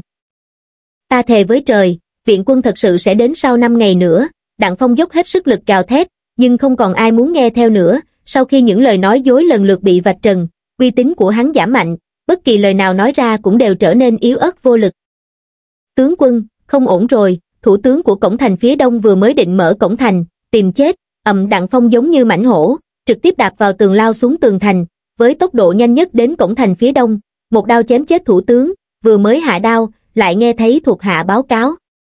Thủ tướng cổng thành phía nam, đang phóng hỏa đốt cổng thành, chết đi đặng phong lặp lại những gì đã làm trước đó, xử tử tại chỗ. Tướng quân, không ổn rồi Vương Lâm An Thiên Tổng còn có Triệu Thiên Tổng đại sự không ổn, có một nhóm dân chúng, bọn họ tuy nhiên, cho dù Đặng Phong làm gì, cũng không ngăn cản được hành vi của mọi người, hắn sinh ra một cảm giác bất lực sâu sắc, chỉ cảm thấy mình giống như đang đối mặt với một trận lũ lụt sóng lớn, cho dù cảnh giới võ đạo có cao đến đâu, cũng vẫn là một phàm nhân, không thể ngăn cản được thiên địa chi thế, thế lớn này. Đã tồn tại từ lâu, hơn nữa là một đường từ Bắc Cảnh đi xuống, từng bị hắn lấy sức một người, ngăn cản trong thời gian ngắn. Nhưng cuối cùng, thế lớn khó ngăn cản, dưới sự tấn công từng bước của họ trần kia, mặt trời mọc hôm nay, trở thành cây cỏ cuối cùng đè chết lạc đà. Đến đây, thế quy hàng, chính là một trận ôn dịch không thể ngăn cản, lan rộng ra trong thành. Thủ thành, không phải chuyện của một người. Đừng nói hắn là huyền tượng cảnh viên mãn, cho dù là lập tức đột phá đến võ thánh cảnh, khi bốn phương tám hướng đều muốn đầu hàng, thì có thể làm gì, chẳng lẽ còn có thể giết sạch 10 vạn dân chúng trong thành, ầm ầm ầm cuối cùng, hắn vẫn không thể phân thân ra được, cổng thành phía nam ầm ầm mở ra. Nhóm quan viên, tướng lĩnh đầu tiên xuất thành, nên đón người mặc áo bào trắng cưỡi ngựa trắng đã đợi từ lâu. Trần tướng quân. Đừng công thành, đừng công thành, chúng ta hàng, chúng ta hàng rồi, trong thành hoàn toàn rơi vào hỗn loạn. Không đếm xuể binh lính Khánh Quốc, chạy qua bên cạnh Đặng Phong, sợ rằng xuất thành chậm một bước sẽ bỏ lỡ thời gian đầu hàng. Chỉ còn lại phó tướng Tống Hồng Bưu Trung Thành Nhất và một số ít tướng lĩnh khác vẫn đang do dự, nhưng ánh mắt cũng đều không ổn định. Ha ha ha ha ha, ngay lúc này, Đặng Phong đột nhiên ngửa mặt tự cười, cho đến khi cười hết hơi, mới dùng giọng run rẩy hướng về trời xanh hét lên, ta, thua rồi. Hắn nhìn dòng người như thủy triều chảy qua bên cạnh mình, rõ ràng có một thân võ nghệ nhưng lại không có chỗ để thi triển, cả người, hoàn toàn bị một cảm giác tuyệt vọng bất lực bao trùm, gần như nghẹt thở. Hắn nhắm mắt lại, thanh đao thanh long yển nguyệt trong tay, đang, một tiếng rơi xuống đất, sau đó, rút thanh kiếm tướng quân bên hông ra, định chém vào cổ. Cũng chính là động tác này. Ngược lại khiến cho sự hỗn loạn trong thành, dừng lại với tốc độ không thể tin được. Tướng quân, không được đâu tướng quân, Tống Hồng Bưu và mấy phó tướng trung thành khác lao lên, ùa lên, tướng quân. Ngài muốn tự vẫn, thì giết chúng ta trước đi, Đặng Thanh Thiên. Dân chúng cũng sửng sốt. Không hiểu tại sao mở cổng thành đầu hàng, lại khiến Đặng Thanh Thiên thà rằng tự sát. Bọn họ không quan tâm đến tất cả để đi đầu hàng, chỉ là muốn sống sót mà thôi, nhưng chưa bao giờ nghĩ đến sẽ khiến Đặng tướng quân đi chết. Dù sao Trần Tam Thạch tướng quân đã hứa hẹn, mở cổng thành đầu hàng, bất kể là tướng lĩnh, dân chúng hay binh lính, đều không giết một ai, nếu đã không chết người, tại sao không thể đầu hàng? Hà tất phải như vậy. Đặng lão gia, không được đâu nhị gia, trong nháy mắt, bất kể là dân chúng hay là binh lính, đều quỳ xuống một mảnh, thậm chí không có ai chạy trốn về phía cổng thành, dường như quên mất chuyện đầu hàng sống sót. Không phải các ngươi muốn hàng sao, các ngươi đi hàng là được, quản ta làm gì, hai mắt đặng phong đầy tia máu, đặng gia sáu đời đều là trung liệt của đại khánh, ta đặng phong, sao có thể là một tên vô sĩ thất tính bội nghĩa, nếu ta không tự vẫn, thì còn mặt mũi nào đối mặt với liệt tổ liệt tông, ầm cương khí trên người hắn bùng nổ, trực tiếp hất văng mấy thuộc hạ ra ngoài. Đang định ra tay với chính mình. Một giọng nói vang lên. Đặng tướng quân, sao lại nói như vậy, chỉ thấy một vị tướng quân mặc áo bào trắng, cưỡi ngựa trắng nhanh chóng lao đến, bên cạnh hắn đi theo hai đại tướng khác, một người là Sa Văn Long, người còn lại là Thôi Tòng Nghĩa cũng là huyền tượng cảnh giới đại thành, cộng thêm quân hổ bí và huyền giáp, vây chặt bọn họ lại. Thôi Tòng Nghĩa ba người, trên mặt vẫn tràn đầy chấn động. Chỉ mới không lâu trước đó, bọn họ thậm chí còn cầm vũ khí, đã chuẩn bị đi bắt Trần Tam Thạch rút quân. Cũng chính là cùng lúc đó nhận được tin tức. Trong chiêu thông phủ loạn, cổng thành phía đông mở ra rồi, bọn họ dẫn quân tiến vào sau đó, không gặp phải bất kỳ sự chống cự nào, mấy nghìn thiết giáp, toàn bộ buông vũ khí đầu hàng, họ Trần kia, thật sự làm được rồi, rõ ràng là ngày hôm trước chiêu thông phủ vẫn còn vững như bàn thạch, vậy mà chỉ trong một đêm, đã mở cổng thành đầu hàng rồi, hơn nữa xem ra chủ tướng Đặng Phong không có ý định đầu hàng, là hắn không kiểm soát được, trong thành hoàn toàn loạn rồi. Với uy vọng của Đặng Phong, vậy, mà lại phát triển thành cục diện như vậy, dựa vào cái gì? chỉ vì đêm qua, Trần Tam Thạch phái một nhóm hàng binh, hát một đêm, sau đó lại hô một tràng sao, nhưng rõ ràng, nội dung hô hào, về cơ bản là không có gì khác biệt với bọn họ trước đây, dựa vào cái gì Trần Tam Thạch nói có tác dụng, bọn họ nói lại không có tác dụng. Bây giờ tuyệt đại bộ phận tướng lĩnh đã bị khống chế, đại quân toàn bộ tiến vào trong thành, về cơ bản đã ổn định được cục diện. Cũng tức là, chiêu thông phủ đã bị chiếm, vào thời khắc gần như không thể hoàn thành, đã hàng phục rồi, Tào Phàm đã có chút tê liệt, lúc này, hắn là hoàng thất, một hoàng tôn đường đường, thậm chí có chút không dám mở mắt nhìn vị tướng quân có tuổi tác tương đương với hắn này. Tự thấy hổ thẹn, Trần Tam Thạch, Đặng Phong nhìn thấy thiết kỵ đại thịnh ùng ùng kéo đến, không kìm được chửi ầm lên, ngươi là tên tiểu nhân đê tiện vô sĩ. Dùng thủ đoạn hạ lưu này để lừa mở cổng thành thì tính là bản lĩnh gì, tại sao ngươi không tự mình tấn công thành trước, ngươi hắn chửi một lúc, chính mình cũng cảm thấy chán. Bởi vì trong lòng hắn biết, đây căn bản không phải là âm mưu quỷ kế gì, là một loại thế lớn, hắn đích thân cảm nhận được loại thế lớn không thể ngăn cản này, vị tướng quân chỉ mới 18-19 tuổi này, vậy mà lại biết dùng một loại phương pháp, trước đây chưa từng xuất hiện trên chiến trường, cuối cùng, vẫn là xem thường hắn rồi.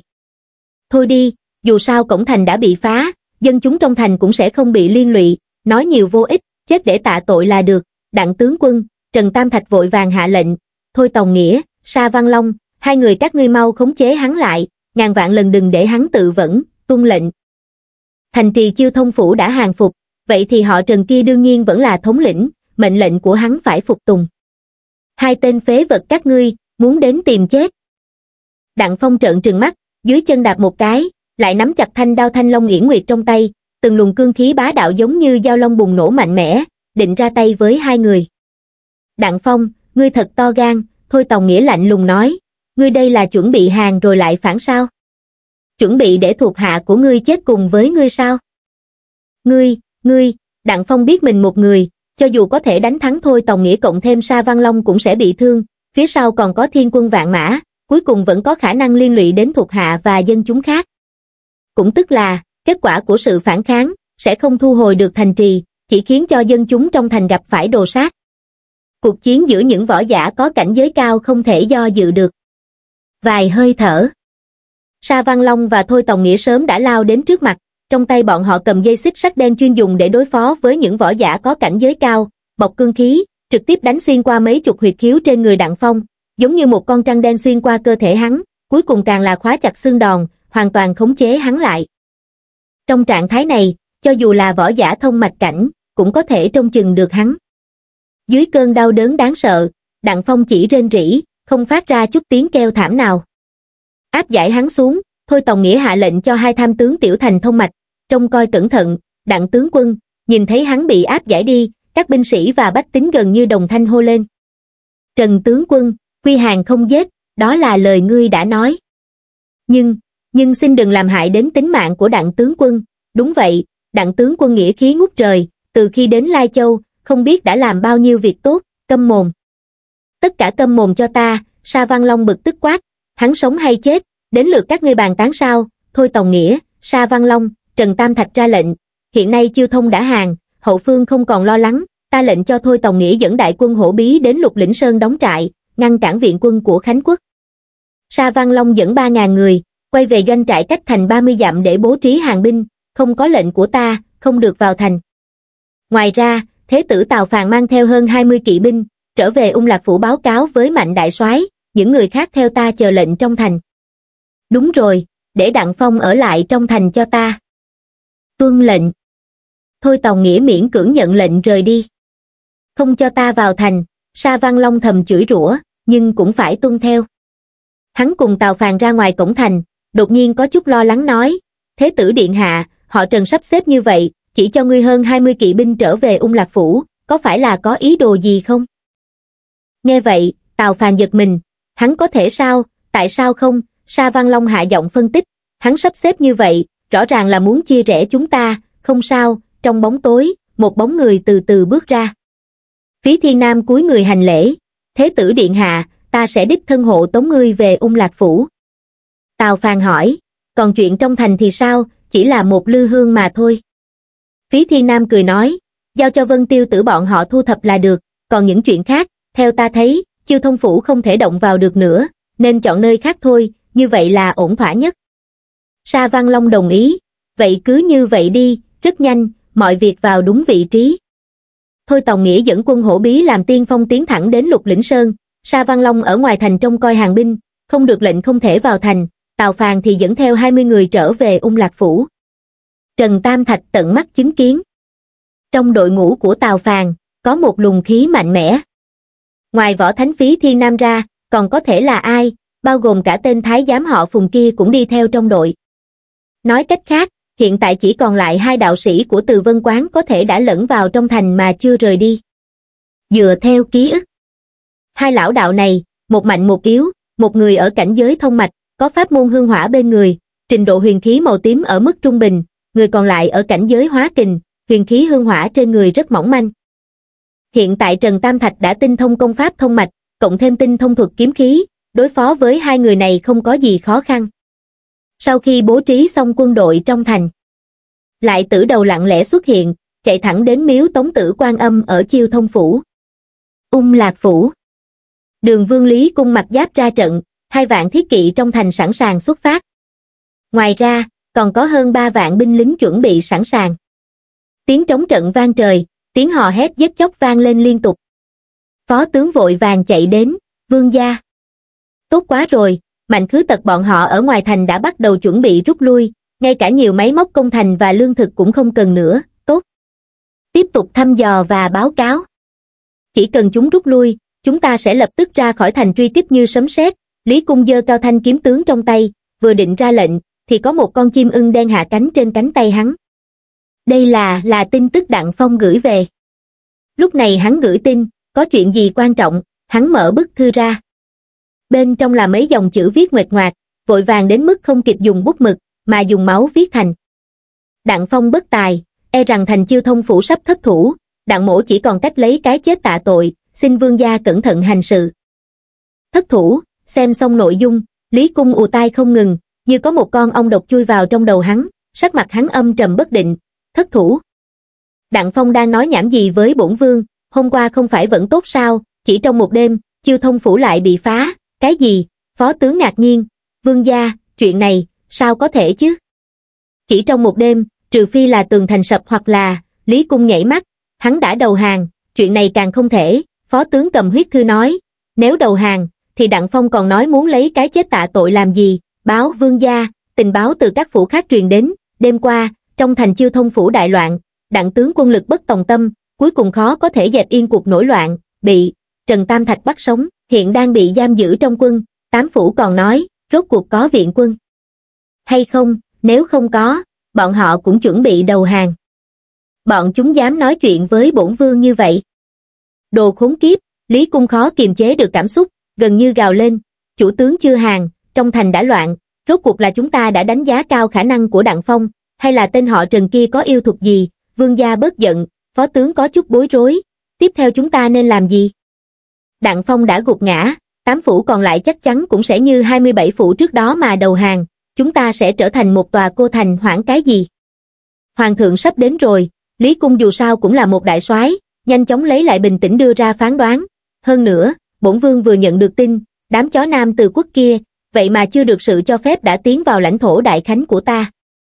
Phó tướng nghe vậy, đầy mặt chán ghét, đám tạp chủng từ quốc, đúng là như thấy máu rồi mới chịu thôi, đúng vậy, nhưng như vậy cũng có lợi. Lý Cung trầm giọng nói, chúng sẽ đến hổ lao quan nhanh hơn dự kiến rất nhiều. Mặc dù thịnh nhân đã chiếm được toàn bộ Lai Châu, nhưng chúng không có cánh, tập hợp binh mã, điều động, đều cần thời gian. Hơn nữa, chúng còn cần phải cử một bộ phận lớn quân đội đến lục lĩnh sơn, những người bao vây bổn vương cũng không dám giảm bớt, nhiều nhất cũng chỉ cử vài ngàn người đến hổ lao quan. Nam Từ, 10 vạn đại quân, vài ngàn người, có thể giữ được sao, tính ra, ưu thế vẫn ở về phía chúng ta, chỉ là cho thịnh nhân cơ hội xoay sở mà thôi. Truyền lệnh của ta xuống, toàn quân cảnh giác, chuẩn bị đón nhận cuộc tấn công dữ dội của thịnh nhân. Sau đó tìm cách thông báo cho Đặng Phong, bảo hắn mau chống tự sát. Đừng ở đây làm mất mặt nữa, một người ở cảnh giới huyền tượng đại viên mãn, hai năm nữa là có thể đột phá võ thánh, lại bị một tham tướng ở cảnh giới thông mạch bắt sống, hắn còn mặt mũi nào mà sống đến bây giờ, rõ, ngoài thành. Doanh trại đại thịnh. Thái tử điện hạ đích thân đến giám sát, nửa tháng nữa sẽ đến. Mạnh khứ tật nhìn tin tức vừa nhận được, sắc mặt có chút khó coi. Đúng lúc này, chúng ta lại phải rút lui đúng vậy. Chim Đài Minh nói, đây chẳng phải là tác vào mặt thái tử sao thống soái quân hổ bí Phạm Thiên Phát nói. Mạnh soái hay là cố gắng thêm chút nữa, không chịu nổi nữa rồi, mạnh khứ tật chỉ vào bản đồ. Các ngươi nhìn cho kỹ đi, nếu không rút lui thì thật sự không kịp nữa rồi, rút về rồi xem tình hình, nói không chừng còn có cơ hội đánh lại. Còn áp lực bên phía hoàng đế, một mình ta gánh là được. Vẫn là câu nói đó, chỉ có không thua, mới có thể tìm được sơ hở của địch, chỉ là theo thời gian, sao Sa văn long bọn họ vẫn chưa mang theo Trần Tam Thạch trở về. Chúng ta không có thời gian đợi nữa, báo đại soái thế tử điện hạ dẫn theo hơn 20 kỵ binh trở về. 20 người, mạnh khứ tật lao ra khỏi lều trại. Mạnh soái Tào Phàn xuống ngựa chào hỏi. Người đâu? Mạnh khứ tật nhìn về phía sau, những người khác đâu, đại soái không có người khác. Tào Phàn đáp, chiêu thông phủ, đã bị chiếm. Khánh ca tứ phía, bắt sống đặng phong. Mạnh khứ tật, Phạm Thiên Phát và Chim Đài Minh nghe xong, đều nhìn nhau, trong lòng đều chấn động. Đặng Phong không chết, sao có thể chỉ trong một đêm mà chiếm được chiêu thông phủ, chuyện này thật sự quá mức khó tin. Tốt lắm, nghe xong giải thích chi tiết, Mạnh Khứ Tật không nhịn được công khóe miệng, thằng nhãi này cũng nghĩ ra được, phù ở xa xa, phòng Thanh Vân vẫn luôn làm người bảo đảm, cũng coi như thở phào nhẹ nhõm. Hắn có tin tưởng sư đệ đến đâu, cũng không bằng tự mình chứng kiến, thời gian càng ngày càng gấp rút, không lo lắng là không thể. Hắn không nhịn được cảm khái nói, vị đặng tướng quân này thật là lợi hại, hoàn toàn dựa vào sức mình để chống lại cả Lai Châu hàng phục, suýt chút nữa chúng ta đã thất bại. Đúng vậy. Phạm Thiên Phát đồng ý nói, hơn nữa thiếu người này, cũng có lợi rất lớn đối với cục diện tiếp theo, đáng tiếc, chim đại minh tiếc núi nói, người này quá trung nghĩa, cho dù bị bắt sống, cũng chắc chắn sẽ không vì đại thịnh mà làm việc, theo quy củ, trong vòng 7 ngày nếu bắt sống võ tướng mà không hàng, cũng không có giá trị tình báo lớn hơn, thì phải chém đầu ngay. Cũng nhờ phòng tướng quân hết lòng khuyên bảo, Mạnh Khứ Tật cảm khái nói, nếu không thì suýt nữa đã lỡ việc lớn. Tình hình vẫn không lạc quan, phòng Thanh Vân kéo mọi người trở lại vấn đề chính, kế hoạch tiếp theo như thế nào, vẫn cần phải bàn bạc kỹ lưỡng. Đúng, Mạnh Khứ Tật dùng một tay nhấc xe lăn, trực tiếp nhấc cả người lẫn xe của Nho Sinh lên, nhanh chóng lao vào trước bản đồ trong đại trướng trung quân.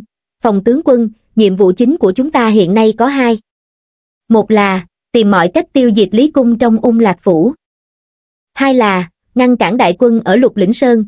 Theo ta biết, hiện nay võ thánh của Khánh Quốc không còn nhiều, bọn họ cũng cần phải ngồi ở biên giới của mình, không điều được nhân thủ dư thừa, nên Hoàng đế Khánh Quốc mới phải đích thân ra trận. Trừ thôi Tòng Nghĩa, Phạm tướng quân cũng phải nhanh chóng đến Lục Lĩnh Sơn mới được, chúng ta ở đây, cần phải đợi viện binh của Thái tử Điện Hạ, sau đó mới tấn công ung lạc phủ, nhưng vấn đề là hổ lao quan phải làm sao, Nam từ quốc 10 vạn đại quân, rất có khả năng sẽ đến trong thời gian gần đây, làm sao ứng phó, Trấn Nam Vương ở phía Nam đã kiềm chế hai võ thánh của bọn họ, cộng thêm một nửa tinh nhuệ, theo tình báo, hiện nay người thống lĩnh 10 vạn đại quân này, là hai vương gia ở cảnh. Giới huyền tượng của Nam từ quốc. Nhưng chúng ta thì không đủ huyền tượng, hơn nữa do trước đó dốc toàn lực tấn công, gần như không có phòng bị ở hổ lao quan. Hiện nay tính ra, người có thể đến hổ lao quan nhanh nhất, hình như chỉ có 3.000 huyền giáp quân của Trần Tướng Quân, còn các đại quân khác sau khi tập hợp rồi đều đến đó, ít nhất cũng phải 3 tháng sau.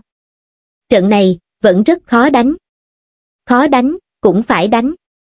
Phòng Thanh Vân cầm cây sáo, chỉ vào vị trí của hổ lao quan.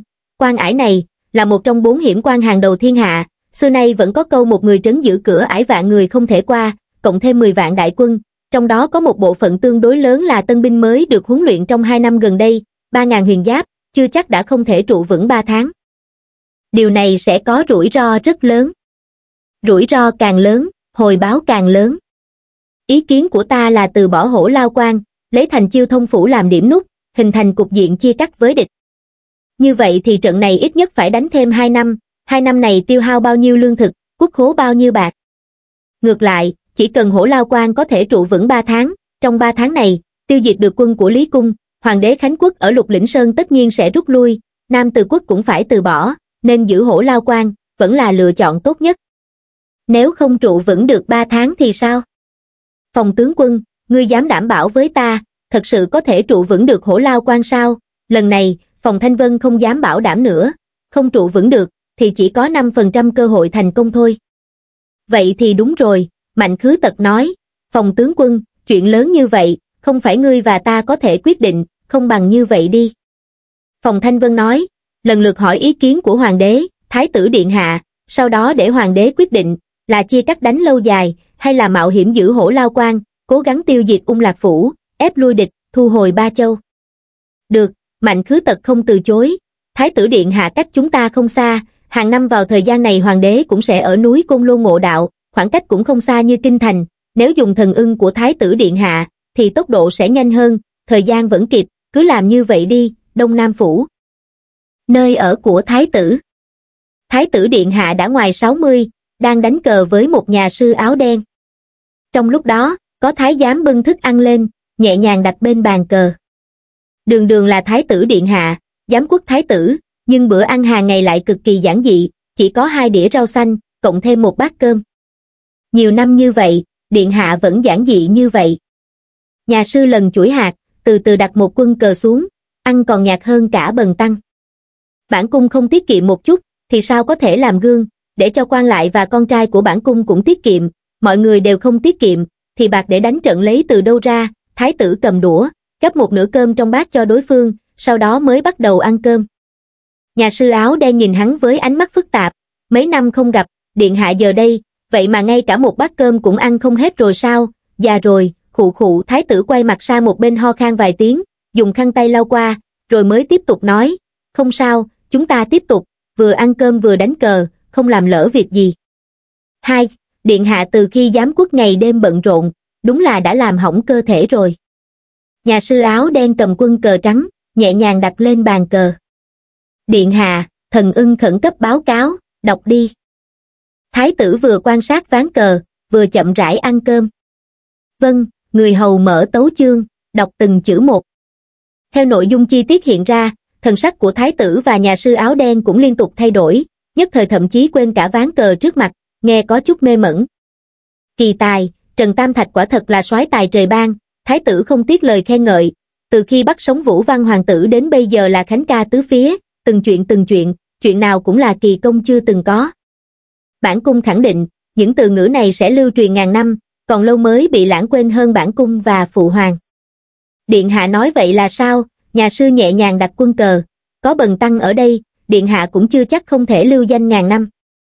Lão Diêu à thái tử đặt đũa xuống, thở dài nói, bản cung chưa bao giờ giống như phụ hoàng, theo đuổi con đường trường sinh mờ mịt xa xôi đó, ta chỉ muốn làm tốt công việc của mình trong đời này. Chiến tranh liên miên, loạn lạc không ngừng, quan tham ô lại hoành hành, võ quán tông môn ức hiếp bách tính, thiên hạ này, cần phải chỉnh đốn lại. Nhưng không có cách nào tiến thêm một bước, bản cung rốt cuộc cũng lực bất tòng tâm.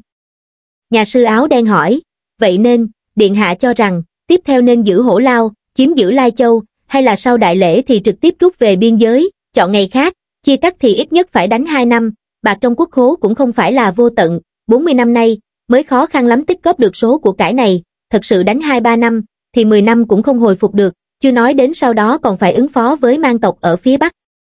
Nếu rút lui, thì cơ hội lần sau không biết phải đợi đến khi nào.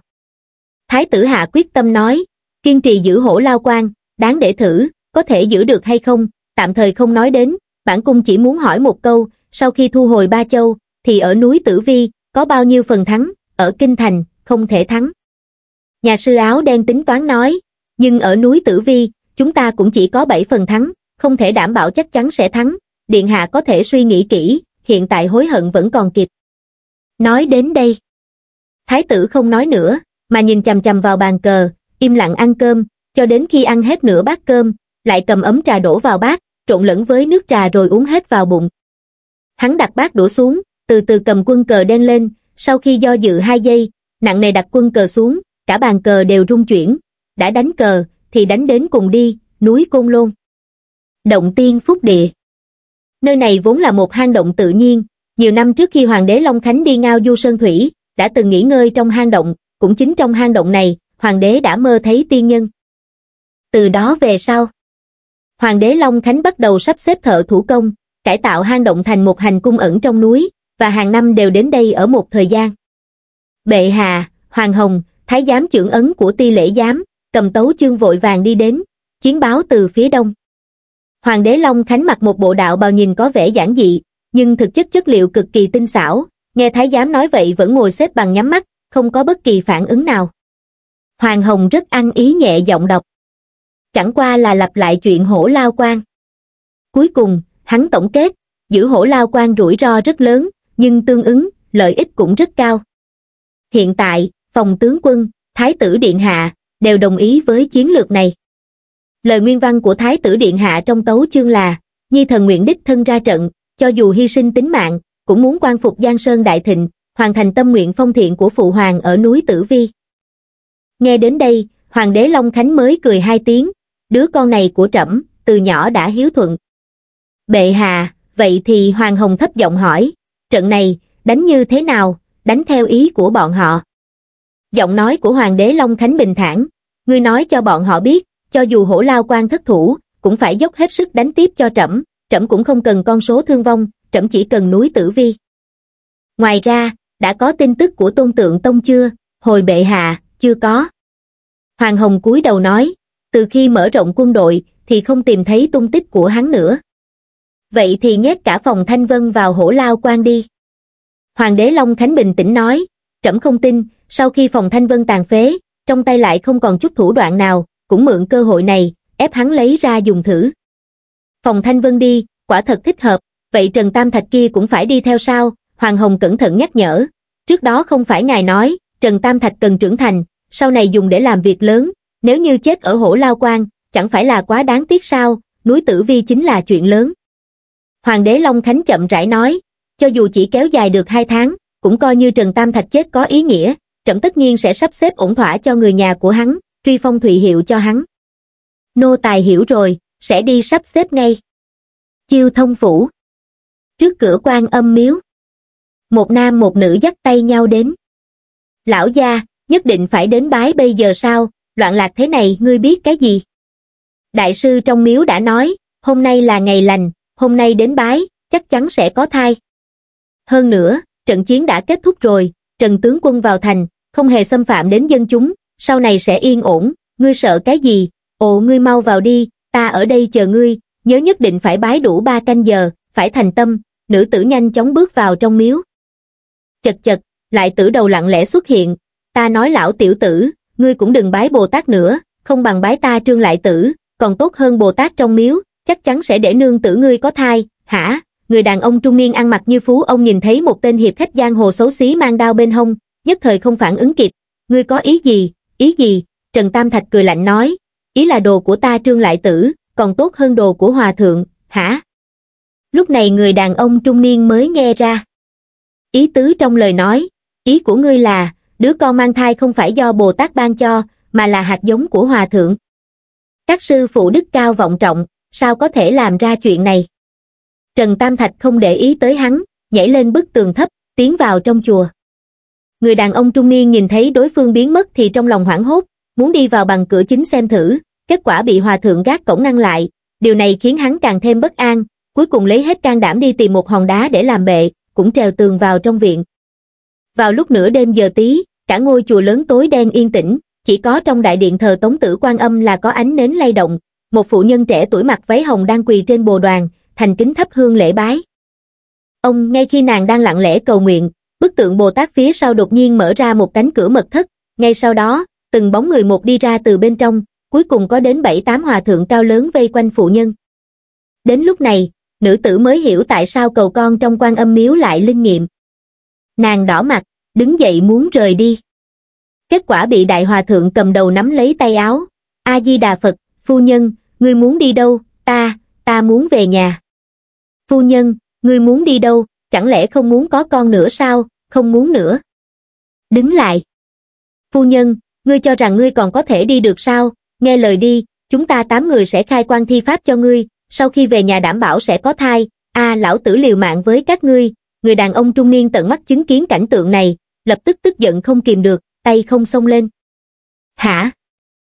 Hòa thượng dâm loạn, hòa thượng dâm loạn, thí chủ, đừng vu oan cho ta, chúng ta chỉ chuẩn bị khai quan cho phu nhân mà thôi, ầm hòa thượng cầm đầu nhất chân định đá vào người đàn ông, nhưng vừa mới nhất chân, đã có một tia sáng lạnh lẽo lóe lên, hắn chỉ cảm thấy chân mình lạnh buốt, nhìn lại thì thấy đã mất một nửa, sau đó máu tươi phun ra.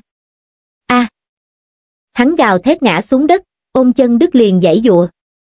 Xoẹt xoẹt xoẹt, Trần Tam Thạch liên tục vung thanh đao hòa miêu trong tay, ánh đao như một đóa sen nở rộ, chỉ trong vài nhịp thở, dưới chân đã trở thành một vũng máu, tám tên giáo đồ của hương hỏa thần giáo, tất cả đều tắt thở. Giết người rồi, người đàn ông trung niên dẫn theo phụ nhân, hoảng sợ bỏ chạy. Trần Tam Thạch không vội lấy huyền châu ra, vì hắn biết hương hỏa trong lư hương trước mặt đã bị lấy đi, nên mới đến đây để dụ rắn ra khỏi hang. Các hạ chính là Trương Lại Tử, Trương Đại Hiệp phải không? Quả nhiên, một giọng nói tức giận vang lên. Vân Tiêu Tử và Lăng Hư Tử một trước một sau đi vào đại điện. Chính là tại hạ, Trần Tam Thạch cố ý điều chỉnh giọng điệu và phong cách nói chuyện, đảm bảo hoàn toàn khác với bản thân. Trương Đại Hiệp, Vân Tiêu Tử nheo mắt, cảnh giác nói, hương hỏa thần giáo của chúng ta, không thù không oán với ngươi, tại sao ngươi lại nhiều lần cướp hương hỏa của ta, giết đệ tử của ta, hương hỏa thần giáo các ngươi, đánh cắp hương hỏa của thần linh, hãm hại bách tính, ai cũng có thể giết, Trần Tam Thạch mắng, đừng tưởng ta không biết, các ngươi là do thái tử chỉ huy, hả, vân tiêu tử kinh hãi, sao ngươi lại biết cả chuyện này, dưới gầm trời này, không có chuyện gì mà lại tử đầu ta không biết. Trần Tam Thạch ngoài mặt không có biểu cảm gì, nhưng trong lòng lại suy nghĩ. Hắn chỉ thuận miệng nói bừa, mà hai người này lại thừa nhận. Quả nhiên là do thái tử sai khiến. Hôm nay hắn đến đây, một mặt là để kiếm thêm hương hỏa, đủ để tu luyện thuật kiếm khí đến giai đoạn tiếp theo, mặt khác là muốn biết thái tử bọn họ đang dở trò gì. Dù sao đây cũng là chiến trường, phải đảm bảo không có ai ở phía sau phá rối. Chuyện này sắc mặt của Vân Tiêu Tử liên tục thay đổi, vốn định giết người diệt khẩu, nhưng liên tưởng đến tốc độ hấp thụ hương hỏa của đối phương quá nhanh, chứng tỏ trình độ của hắn rất cao, nên cuối cùng vẫn không dám manh động. Hắn thử hỏi, Trương Đại Hiệp, cần gì phải làm vậy, chẳng lẽ ngươi nhất định phải đối đầu với chúng ta, với Điện Hạ sao? Ngươi có bản lĩnh, không bằng gia nhập chúng ta, sau khi thành công, cũng coi như là công lao từ rồng, công lao từ rồng, Trần Tam Thạch dường như vô tình biết được chuyện gì đó không ổn. Hương hỏa thần giáo là người của Thái tử. Sau đó lại nói có công lao từ rồng. Thái tử muốn tạo phản, giết cha, hắn giữ vẻ mặt bình tĩnh, chuyện cười. Ta là người cầu tiên, không quan tâm đến chuyện triều đình, Trương Đại Hiệp, đừng vội từ chối, Vân Tiêu Tử nói, không bằng như vậy, để ta về bẩm báo với Điện Hạ trước, ngài nhất định sẽ rất coi trọng một cao nhân như ngươi, đến lúc đó đưa ra điều kiện, ngươi chưa chắc đã từ chối. Trần Tam Thạch không trả lời, làm ra vẻ muốn ra tay. Sao phải làm vậy? Vân Tiêu Tử liên tục lùi lại, Trương Đại Hiệp, không bằng như vậy, bốn tháng sau, ngươi hãy gặp chúng ta ở Sơn Thần Miếu ở Thái Hồ Phủ. Đến lúc đó xem điều kiện có hài lòng hay không, rồi quyết định hợp tác hay không cũng chưa muộn, đúng vậy. Lăng hư tử cũng nói, các hạ đã không quan tâm đến chuyện triều đình, chắc chắn cũng sẽ không tiết lộ chuyện này ra ngoài, chuyện còn lại, chúng ta sẽ từ từ thương lượng sau, Thái Hồ Phủ. Trần Tam Thạch ngày đêm đều xem bản đồ, sao có thể không biết ở đâu. Bên cạnh Thái Hồ Phủ, chính là núi Tử Vi, nói cách khác. Nếu Thái tử muốn tạo phản, thì sẽ lựa chọn ra tay ở núi Tử Vi, tức là, tiền đề là sau khi thu hồi được ba châu. Hóa ra, tin tức mà tầm tiên lâu đưa ra là đúng, hương thần giáo thật sự muốn có hành động lớn ở Kinh Thành. Chẳng qua Kinh Thành này không phải chỉ địa danh, mà là chỉ người, là hoàng đế, để thể hiện thành ý Vân Tiêu Tử lấy ra một chiếc lư hương nhỏ, hương hỏa này, coi như là quà gặp mặt tặng cho Trương Đại Hiệp, chuyện trước đây, hương hỏa thần giáo của chúng ta đảm bảo không truy cứu, thế nào, hừ, Trần Tam Thạch trừng mắt nói, còn không mau cút đi, mau đi thôi, hai người Vân Tiêu Tử nhìn nhau, sau đó nhanh chóng rút lui. Trần Tam Thạch dùng thuật quan khí xác nhận bọn họ đi xa, mới đánh giá chiếc lư hương dưới đất, chiếc lư hương nhỏ này không to bằng bàn tay nhưng khí tím mờ ảo, hương hỏa dồi dào, đáy lư hương cũng có dấu ấn màu đỏ máu. Hương hỏa này, đủ để thuật kiếm khí đột phá rồi. Hắn lấy huyền châu ra, hấp thụ hết hương hỏa bên trong, sau đó tiện tay ném lư hương đi. Trên đó có dấu ấn, cầm theo sẽ bị theo dõi. Hơn nữa sau khi thử nghiệm, linh hòa luyện ra từ lò hương, cũng không tốt hơn lò đỉnh huyền thiết, vì căn bản đây không phải là thứ dùng để luyện đan, giữ lại cũng không có tác dụng gì. Hắn cũng không thiếu thuốc mỡ. Chuyến đi hôm nay, thu hoạch không nhỏ. Chỉ là thái tử tạo phản, tại sao nhất định phải chọn ở núi Tử Vi, hắn suy nghĩ một chút, cũng hiểu ra. Bất kể là ép vua thoái vị hay tạo phản, thì đều cần phải có đủ người, mà thế lực của thái tử trong kinh thành chắc chắn không bằng được hoàng đế, cho dù là ở gần kinh thành, thì việc điều động binh mã cũng quá rõ ràng, dễ bị phát hiện. Nhưng núi Tử Vi thì lại vừa vặn, sau khi chiến tranh kết thúc, hoàng đế chắc chắn sẽ đến đó để phong thiện. Mà chiến tranh Ba Châu vừa mới kết thúc, có binh mã ở đó, cũng là bình thường, cộng thêm những người như phí thiên nam âm thầm đến sớm, tất cả đều hợp lý. Chỉ là trận chiến còn chưa kết thúc, thái tử đã sắp xếp từ sớm. Nếu như sau này đánh thua, hoặc là không thu hồi được ba châu thì sao, vậy thì thái tử không ép vua thoái vị nữa, thôi bỏ đi. Những chuyện này không liên quan đến hắn. Đối với Trần Tam Thạch mà nói, lão hoàng đế hạ độc hắn, tự tay tạo ra 10 ngày ở Vân Châu đáng chết, thái tử dùng người sống tế lễ, cũng không phải là thứ tốt đẹp gì, ai làm hoàng đế, cũng không khác gì. Nếu thấy hay thì nhớ like và đăng ký kênh để ủng hộ mình nha.